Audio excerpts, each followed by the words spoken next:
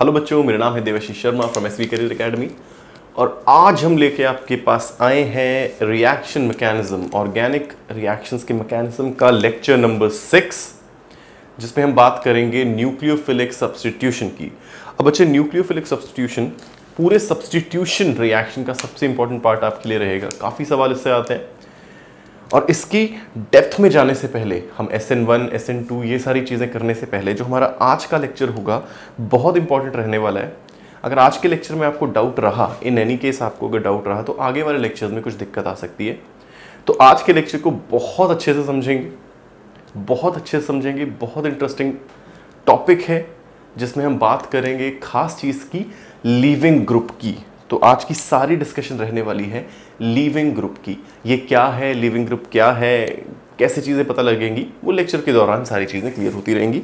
So let's start sorry lecture number seven in fact of reaction mechanism जिसमें हम बात कर रहे हैं न्यूक्लियोफिलिक सब्सटीट्यूशन की। अभी तक हम फ्री रेडिकल सब्सटीट्यूशन के दो लेक्चर कर चुके हैं। इलेक्ट्रोफिलिक सब्सटीट्यूशन पे दो लेक्चर कर चुके हैं। सारी चीज़ें क्लियर हुई हैं।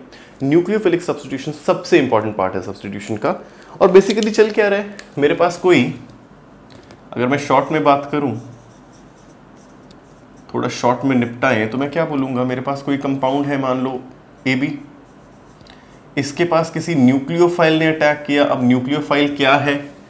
इसके लिए आपको न्यूक्लियोफाइल और इलेक्ट्रोफाइल पे, यानी सेकेंड लेक्चर देखना पड़ेगा इस सीरीज़ का। First lecture was on rearrangement second lecture was on nucleophile and electrophile nucleophile ने अटैक किया तो डेफिनेटली ये बन जाएगा। प्लस ये बी चीज़ बाहर निकल रही है। एज अ न्यूक्लियोफाइल अगर न्यूक्लियोफाइल ने अटैक किया तो बाहर निकल भी क्या रहा है? न्यूक्लियोफाइल जो चीज़ निकल रही है, उसको नाम देते हैं लीविंग ग्रुप छोड़ के जाने वाला group this is my leaving group अब ध्यान से समझना। ध्यान से समझना। जितनी आसानी से, जितनी इजीली जितनी easily leaving group will leave जितनी आसानी से ये लीविंग ग्रुप निकलेगा, उतना ही तेज मेरा ये रिएक्शन होने वाला है। मान लो किसी न्यूक्लियोफाइल ने अटैक किया और बी निकलना ही नहीं चाहता। मेरा न्यूक्लियोफाइल तो अटैक कर रहा है बट बी इतने अच्छे से बॉन्ड बना रखा है ए के साथ कि ये निकलना ही नहीं चाहता तो मेरा रिएक्शन नहीं हो पाएगा।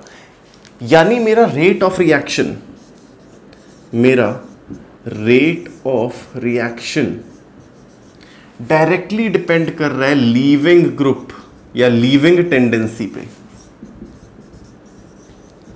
किस टेंडेंसी पे? लीविंग टेंडेंसी पे कितनी आसानी से कोई ग्रुप बी इस ए को लीव करेगा, उतनी तेज मेरा रिएक्शन होने वाला है। बहुत इंपॉर्टेंट चीज़ है। मेरा rate of nucleophilic substitution reaction is depending upon leaving tendency of the group leaving tendency of leaving group leaving tendency of leaving group कितनी आसानी से ये बी छोड़ के जाना चाहता है ए को, तभी ये न्यूक्लियोफाइल ए के साथ अटैच हो पाएगा राइट अब इतना आपको पता होना चाहिए न्यूक्लियोफाइल ज़रूरी नहीं है, ये नेगेटिव चार्ज हो। लोन पेयर हो तो भी न्यूक्लियोफाइल यानी न्यूट्रल न्यूक्लियोफाइल भी होते हैं, वो सारी बातें हमने कर रखी हैं। इन न्यूक्लियोफाइल एंड इलेक्ट्रोफाइल वाला lecture lecture number two in reaction mechanism right तो आज सारी बातें रहेंगी इस लीविंग ग्रुप के बारे में। कैसे पता लगेगा? अच्छा लीविंग ग्रुप है। हमने देखना क्या है? Which is better leaving group? Which group is a better leaving group? ये चीज़ हमने बेसिकली आज देखनी है और इस पर सवाल करने राइट कौन सा ग्रुप आसानी से लीव करेगा, कौन सा ग्रुप मुश्किल से लीव करेगा, ये सारी चीज़ें हमने देखनी है। चले, चलो। तो अब आते हैं अपने मेन टॉपिक पे लीविंग ग्रुप टेंडेंसी पे, कौन सा ग्रुप लीव करेगा, कौन सा ग्रुप मुश्किल से लीव करेगा। इसी पे सारी डिस्कशन आज हमारी होने वाली है in nucleophilic substitution one nucleophilic substitution के बाकी सभी सब्सटीट्यूशन के हमारे दो दो लेक्चर्स पे बात की है हमने। न्यूक्लियोफिलिक पे मोस्ट प्रोबेबली तीन से चार लेक्चर लगेंगे इंक्लूडिंग दिस वन तो आज पहला है, इसके बाद दो या तीन और लेक्चर लग सकते हैं राइट दो तो डेफिनेटली लगेंगे, तीसरे के लगने की भी पूरी पूरी आशंका है। चलो पॉइंट्स देखते जाएँगे और उन्हें फॉलो करते जाएँगे। Point number one point number one देखो।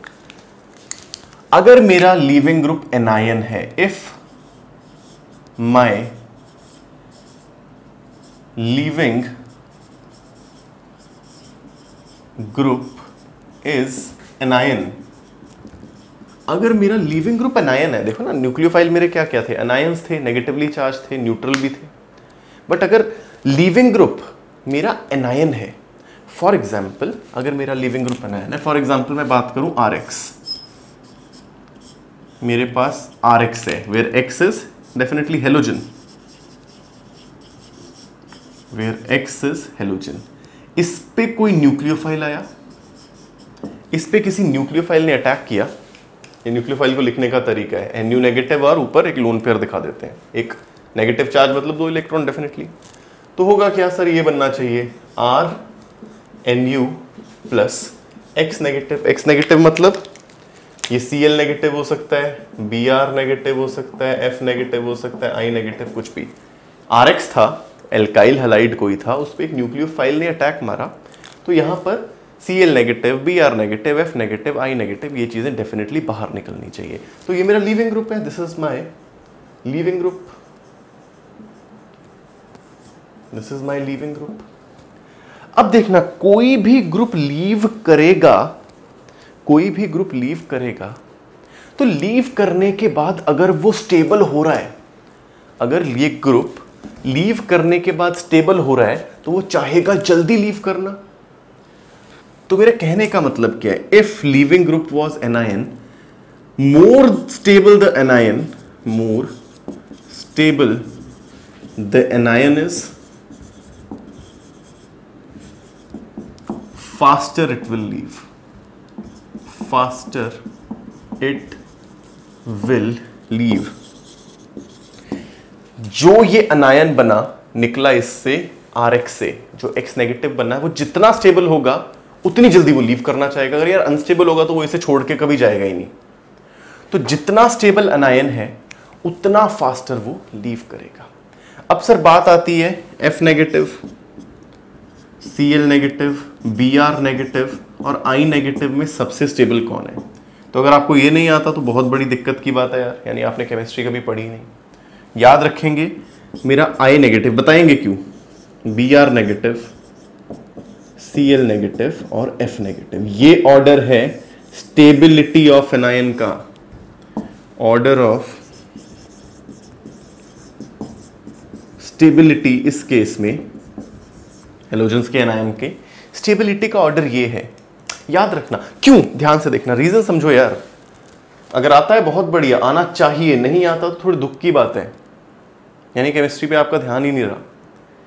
दो चीज़ें हो सकती हैं, या तो हम चलते हैं अलोंग पीरियड अलोंग पीरियड या हम चलते हैं डाउन द ग्रुप यही होती है। अगर मैं पीरियोडिक टेबल में चल रहा हूँ तो मैं लॉन्ग पीरियड चलूँगा या डाउन द ग्रुप चलूँगा। अगर एनायन की स्टेबिलिटी अगर एनायन की स्टेबिलिटी चेक करनी है डाउन द ग्रुप अगर एनायन की स्टेबिलिटी डाउन कर, चेक करनी है डाउन द ग्रुप तो नीचे नीचे जाते हुए एनायन की स्टेबिलिटी इंक्रीज होगी। क्यों होगी भाई? इंक्रीज होगी क्यों? नेगेटिव चार्ज है किसी एटम पे। वो नेगेटिव चार्ज जितने ज़्यादा वॉल्यूम में फैलेगा वो उतना स्टेबल होगा। यार मान लो ना तुम्हारे पास कोई बॉडी है तुमने उसे नेगेटिव चार्ज दिया। वो नेगेटिव चार्ज छोटी सी जगह में आ गया तो रिपल्शन बढ़ेगी अनस्टेबल होगा। जितनी बड़ी जगह पे वो नेगेटिव चार्ज फैलेगा उतना ज़्यादा स्टेबल होगा। और हमें पता है आई नेगेटिव आयन बहुत बड़ा है। सभी पे सिंगल नेगेटिव चार्ज है बट आई का साइज़ बहुत बड़ा है। साइज़ बड़ा है। इसीलिए जब डाउन द ग्रुप जाते हैं तो हम क्या देखते हैं? याद रखना साइज़ देखेंगे हमेशा। साइज़ इंक्रीज होगा स्टेबिलिटी इंक्रीज होगी।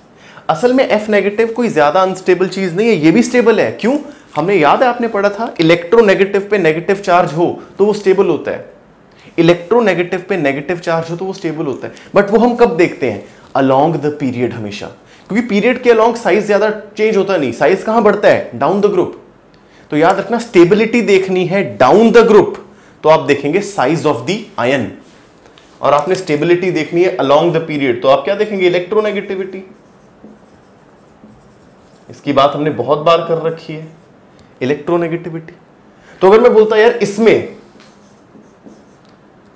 ओ OH नेगेटिव और NH3 नेगेटिव में स्टेबल कौन है? तो O पे नेगेटिव है और N पे नेगेटिव है। O पे नेगेटिव है और N पे नेगेटिव है। और ऑक्सीजन ज़्यादा इस तरफ़ आता है ऑक्सीजन इलेक्ट्रोनेगेटिव है, उस पे ज़्यादा नेगेटिव चार्ज तो ये वाली चीज़ ज़्यादा स्टेबल है। तो आपने स्टेबिलिटी ऑफ़ एनायन जब देखना है तो अगर नीचे की तरफ़ जा रहे हैं एनायन तो साइज़ पे डिपेंड कर रहा है। इस केस में स्टेबिलिटी ऑर्डर ये और अगर मेरे अलोंग द पीरियड जा रहे हैं तो क्या देखना है? तो आपने इलेक्ट्रोनेगेटिव देखनी इस चीज़ को याद रखो। इस चीज़ को याद रखो। अगर पता था, बहुत बढ़िया। नहीं पता तो सब यार गलत बात है। गलत बात है। पीरियोडिक ट्रेंड्स तो आपने दसवीं में भी मेरे ख्याल से कर रखे हैं। चलो खैर। तो मुझे पता लगा, जितना स्टेबल निकलने के बाद ये होगा, उतनी जल्दी निकलना चाहेगा। उतनी जल्दी निकलना चाहेगा तो मेरी तेज कौन सा रिएक्शन होगा? अगर मैं बोल दूँ, अगर मैं बोल दूँ मेरे पास है C H three C L और एक है सी एच थ्री आई दोनों पे किसी न्यूक्लियोफाइल ने मान लो ओ एच नेगेटिव ने अटैक किया। दोनों पे किसी न्यूक्लियोफाइल ओ एच नेगेटिव ने अटैक किया। तो भाई जल्दी कौन सा रिएक्शन होगा? डेफिनेटली जल्दी इसके साथ रिएक्शन होगा। न्यूक्लियोफाइल सेम है। कंपाउंड भी सेम है, बस यहाँ सी एल लगा, यहाँ आई लगा है। तो मेरे पास रह क्या गया यार? मैं लीविंग ग्रुप देखूँ कौन सा आसानी से जाएगा। तो ये चीज़ मेरी आसानी से जाएगी, यानी ये reaction is faster this reaction would be faster and this reaction would be comparatively slower please इस चीज़ को याद रखेंगे। मेरा पहला पॉइंट छोड़ के जाने वाली चीज़ अगर एनायन है तो जितना स्टेबल एनायन उतना तेज मेरा रिएक्शन हेलाइट्स की बात करूँ, ये मेरा स्टेबिलिटी ऑर्डर है। सबसे ज़्यादा स्टेबल क्यों? सेम चार्ज बड़े साइज़ पे तो ज़्यादा स्टेबल डाउन द ग्रुप ये देखते हैं। अलोंग द पीरियड क्या देखते हैं? जो जितना ज़्यादा इलेक्ट्रोनेगेटिव उस पे नेगेटिव चार्ज स्टेबल अगर ऐसा कुछ होता ओ नेगेटिव और NH3 नेगेटिव तो मुझे क्या पता लग जाता, भाई ओ नेगेटिव ज़्यादा स्टेबल है। क्यों? ओ ज़्यादा इलेक्ट्रोनेगेटिव है, उस पे नेगेटिव चार्ज स्टेबल तो ये चीज़ याद रखेंगे, बहुत इंपॉर्टेंट है। चलो एक स्टेप आगे चलते हैं। Let's move one step ahead सवाल देता हूँ एक। Let's move one step ahead इसी पे बात कर रहे हैं आयंस पे बात कर रहे हैं एनायन लिविंग ग्रुप अगर मेरा अनायन है तो मैं एक सवाल देता हूँ। चलो, अगर मैं बोलूँ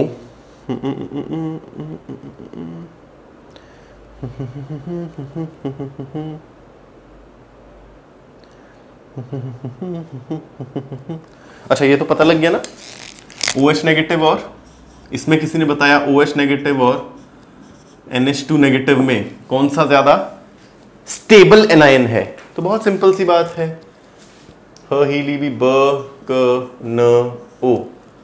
इस तरफ़ जा रहे हैं। ये कौन सा है? ये this is a period period में इस तरफ़ जा रहे हैं तो जितना ज़्यादा इलेक्ट्रोनेगेटिव उतना ज़्यादा anion stable this is more electronegative than this दोनों पे सिंगल नेगेटिव चार्ज है तो मैं बोलूँगा my O H negative anion is more stable than N H three negative मेरा ओ एच नेगेटिव एनायन ज़्यादा स्टेबल है।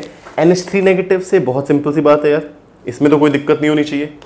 इसमें कोई दिक्कत नहीं होनी चाहिए। तो अगर मैं सवाल बोलूँ C H three N H two और C H three O H दोनों पे सेम न्यूक्लियोफाइल ने अटैक किया। दोनों पे सेम न्यूक्लियोफाइल ने अटैक किया तो तेज रिएक्शन कौन सा होने वाला है?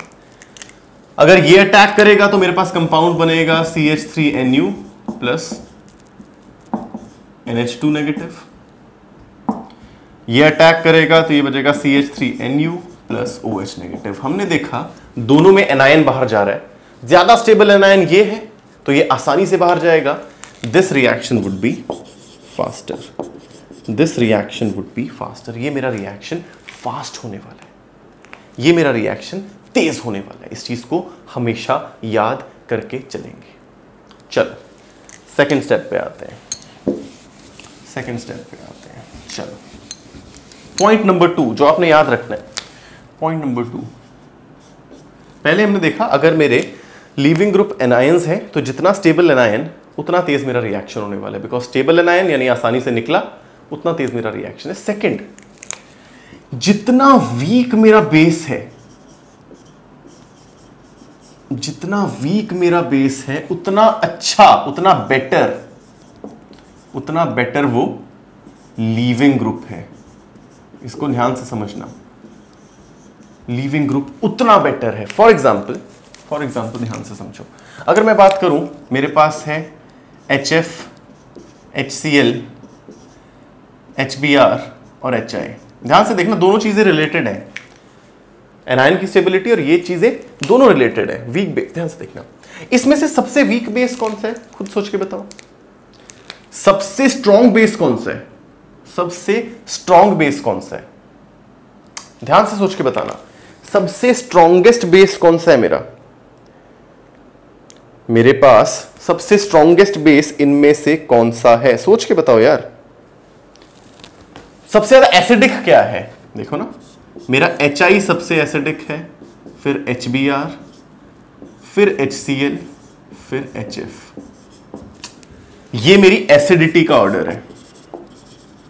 एसिडिटी का ऑर्डर है। भाई एसिडिटी का ऑर्डर क्यों? एसिडिटी क्या होती है? एच पॉजिटिव प्रोवाइड करना। तो अगर इसने एच पॉजिटिव प्रोवाइड किया तो ये क्या बन जाएगा? आई नेगेटिव इसने एच पॉजिटिव प्रोवाइड किया तो ये बन जाएगा बी आर नेगेटिव इसने किया C L negative F negative और ये ऑर्डर तो हमें पता है। ये ज़्यादा स्टेबल है, तभी इसने अपना एच पॉजिटिव खो दिया। आई नेगेटिव सबसे ज़्यादा स्टेबल है। दैट मीन ये अपना एच पॉजिटिव आसानी से दे देगा आई नेगेटिव बनने के लिए। तो ये मेरा एसिडिटी का ऑर्डर है। This is my acidity order और जब एसिड निकल जाता है, जब एच पॉजिटिव निकल जाता है तो क्या बनता है? कॉन्जुगेट बेस कॉन्जुगेट बेस ध्यान से देखो ना। जब एसिड निकल जाता है एच पॉजिटिव निकलता है तो क्या बचता है? कॉन्जुगेट बेस यहाँ क्या बचा? आई नेगेटिव यहाँ बी आर नेगेटिव यहाँ सी एल नेगेटिव यहाँ एफ़ नेगेटिव क्यों? एच पॉजिटिव तो गायब हो गया। बेस एसिड स्ट्रांग हो तो कॉन्जुगेट बेस क्या होता है? वीक ये तो सबको पता ही है। जितना strong acid it will give उतना ही वीक कॉन्जुगेट बेस जितना स्ट्रॉन्ग एसिड उतना ही वीक कॉन्जुगेट बेस देगा। ये था मेरा स्ट्रॉन्ग एसिड ये weakest base this is my weakest base और अभी हमने देखा I negative is strongest leaving group यानी जितना वीक बेस होगा, उतना बेटर वो लिविंग ग्रुप होगा। ये ऑर्डर तो हमें पता है तो दोनों चीज़ें इंटर रिलेटेड है। आप लिविंग ग्रुप कितना अच्छा होगा, इसे दो चीज़ों से जज कर सकते हैं। दोनों आपके हाथ में है, जो आसान लगे। एनायन ज़्यादा स्टेबल है तो वो अच्छा लिविंग ग्रुप और वीक बेस है वीक बेस है तो अच्छा लिविंग ग्रुप हमने देखा ये स्ट्रॉन्गेस्ट एसिड था तो इसका कॉन्जुगेट बेस्ड वीकेस्ट और यही मेरा क्या होता है अच्छा लिविंग ग्रुप तो दो क्राइटेरिया आपको मिल गए, और इन्हीं दो क्राइटेरियाज पे आई होप ये लिख लिया होगा। इन्हीं दो क्राइटेरियाज पे लिविंग ग्रुप की टेंडेंसी बेस्ड है नंबर वन पहला stable is the anion stable is the anion कौन सा anion leaving anion better is the leaving group better leaving group और या फिर वीकर द बेस या weak base is a better leaving group better leaving group ये वाली चीज़ कब use होती है यार? ज़रूरी नहीं है न्यूक्लियोफाइल मेरा एनायन ही हो, मेरा H2O और NH3 भी मेरा लिविंग ग्रुप हो सकते हैं, और ये दोनों क्या हैं? दीज आर न्यूक्लियोफाइल न्यूक्लियोफाइल हमें पता है NH3 इज़ मोर बेसिक अगर मैं बेसिक नेचर की बात करूँ NH3 is more basic then H2O तो मेरा बेटर लिविंग ग्रुप कौन होगा? This is better leaving group. याद रखेंगे स्टार मार्क करके this is better leaving group than H2 ज़्यादा बेसिक कन बेसिक फॉर एग्ज़ाम्पल आपको सवाल दे दिया फॉर एग्ज़ाम्पल आपको मैंने सवाल दिया mm, mm, mm,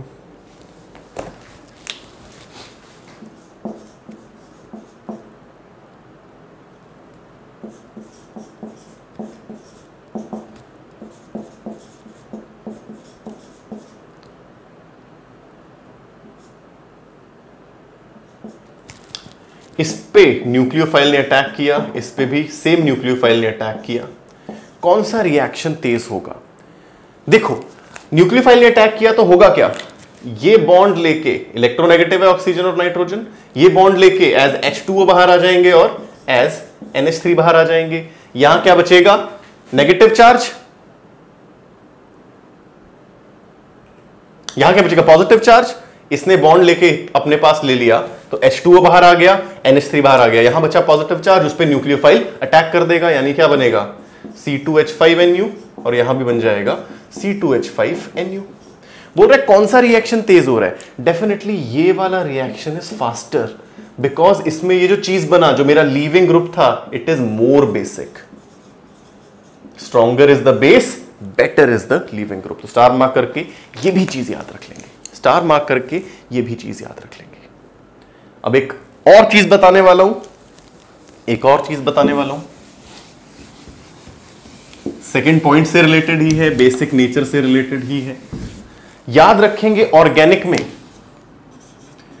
ऑर्गेनिक में अगर मैं बात करूँ एसिडिक स्ट्रेंथ की, हमने पहले भी शायद बात की थी एसिडिक स्ट्रेंथ की तो सबसे स्ट्रॉन्ग एसिड होते हैं सल्फोनिक एसिड मेरे सल्फोनिक एसिड सबसे स्ट्रॉन्ग है।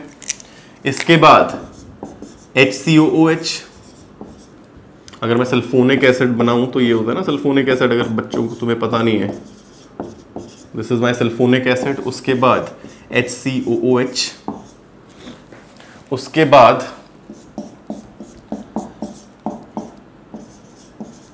उसके बाद फिनोल्स का नंबर आ जाता है। इस ऑर्डर को याद रखेंगे। This is my acidic order for organic acids छोटा सा ऑर्डर है। हालाँकि बहुत इसमें वेरिएबल्स आते हैं बट इस ऑर्डर को आप याद रखेंगे। आपके आने वाले सवाल आसान हो जाएँगे। आपके आने वाले सवाल आसान हो जाएँगे। क्या? ये चीज़ याद रखेंगे। अगर ये स्ट्रॉन्गेस्ट एसिड है और इसने एच पॉजिटिव निकाल दिया, ध्यान से देखो ना स्ट्रॉन्गेस्ट एसिड है एच पॉजिटिव निकाला तो इसका कॉन्जुगेट बेस क्या बन जाएगा? SO3 नेगेटिव इसका कॉन्जुगेट क्या बन जाएगा? देखो ना एच सी ओ ओ एच अगर मैं इसे बनाऊँ HCOOH तो ये क्या बन जाएगा? CO3 CO2H नेगेटिव ये बन जाएगा C double bond O negative ये बन जाएगा ओ नेगेटिव ये क्या है? Conjugate base strong acid weak base यानी these are conjugate base conjugate base और हमें पता है जितना वीक बेस उतना बेटर लीविंग ग्रुप तो अगर मैं लीविंग ग्रुप बोलूँ, मेरा लीविंग ग्रुप टेंडेंसी इसकी सबसे ज़्यादा, ये ऑर्डर मेरा इनका लीविंग ग्रुप टेंडेंसी का बन गया. Strong base we strong acids weak conjugate base strong acid weak conjugate base यानी लीविंग ग्रुप का कैरेक्टर क्या है? ऐसा. This is leaving group character conjugate base तो ये वीक है. Weak conjugate base better leaving group ये लीविंग ग्रुप कैरेक्टर ऐसे याद रखेंगे. इससे बहुत सवाल आएँगे. फॉर एग्ज़ाम्पल एक क्वेश्चन दू मैं.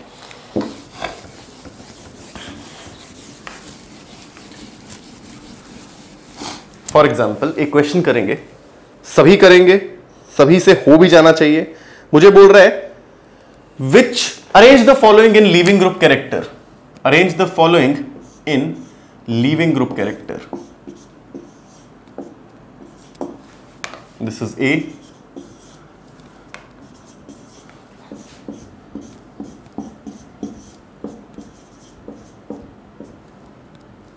Sorry. This is B and this is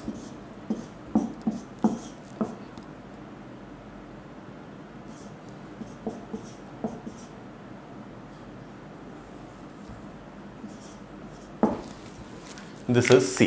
बोल रहा है arrange the following in the leaving group character भाई लीविंग ग्रुप कैरेक्टर अभी अभी पढ़ा, सबसे अच्छे एसिड सल्फोनिक एसिड तो उसका बेस सबसे वीक तो this is weakest base this is best leaving group उसके बाद नंबर आता है बेंजीन के ऊपर सीओ सीओएच लगा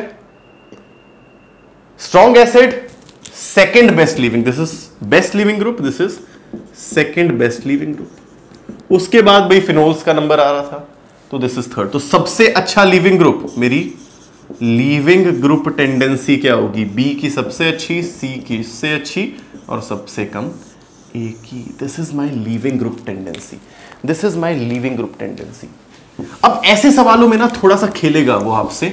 सबसे इंपॉर्टेंट पॉइंट स्टार मार्क करके लिखें.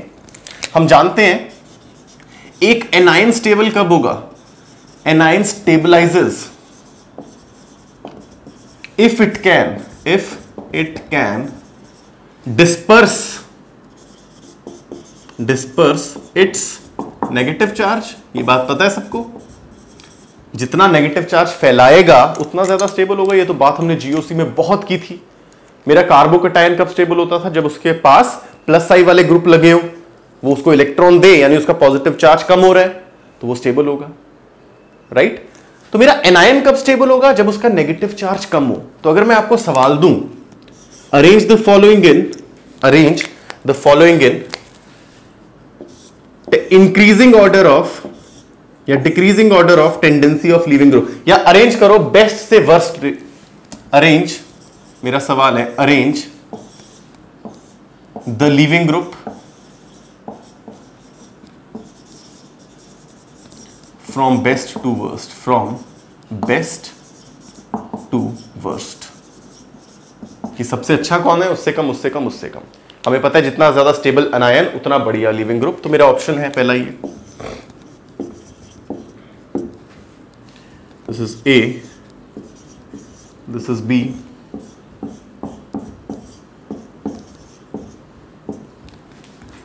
this is C sir, ये तो आपने सारे एक जैसे बना दिए। ये क्या बात है? यहाँ लगा है सी एल यहाँ लगा है सी एच थ्री बोल रहे बेस्ट लिविंग ग्रुप कौन सा होगा? बेस्ट लिविंग ग्रुप वो? अब अगर इतना उतना होता तो यार ये तो सेम है। अब मैं देखूँगा इन एनायन पे नेगेटिव चार्ज सबसे ज़्यादा डिस्पर्स कहाँ हो रहा है? अगर मुझे पता है सीएल माइनस आई इफ़ेक्ट दिखाता है, यानी ये इलेक्ट्रॉन खींच रहा है, यानी ये नेगेटिव चार्ज डिस्पर्स हो रहा है। यहाँ पर C H three plus I effect दिखा रहा है।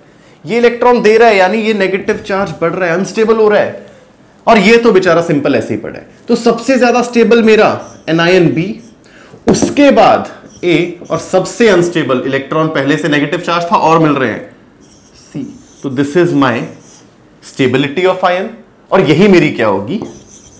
लीविंग ग्रुप टेंडेंसी सबसे आसानी से लीव करेगा ग्रुप ये, उसके बाद ये, और सबसे मुश्किल, उसके बाद ये और सबसे मुश्किल से ये। बिकॉज़ ये अनस्टेबल हो रहा है। अगर अनस्टेबल है तो छोड़ेगा ये क्यों अपने साथ?